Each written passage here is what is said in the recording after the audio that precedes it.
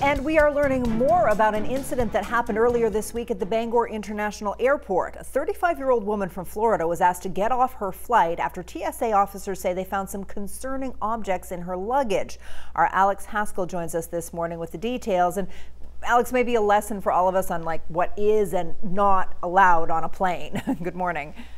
Sharon, absolutely. Good morning. So the situation happened around noon on Tuesday. The TSA was checking baggage as they usually do when officers detected some items one passenger thought was okay to fly with. As you can see here, two hand grenades were discovered. But don't worry, these replica explosives were just hollowed out paperweights. Although they posed no threat to anyone, items such as these are not allowed in carry-on bags or in checked luggage.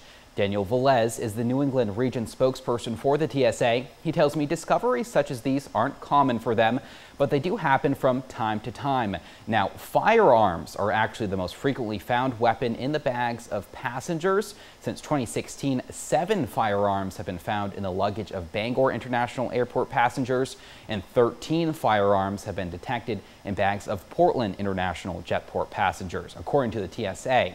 Now, Velez says being caught with items like these can come with a hefty price tag.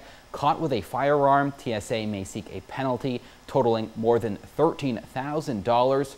Fines for having a replica explosive can be anywhere from $690 to about $3,400.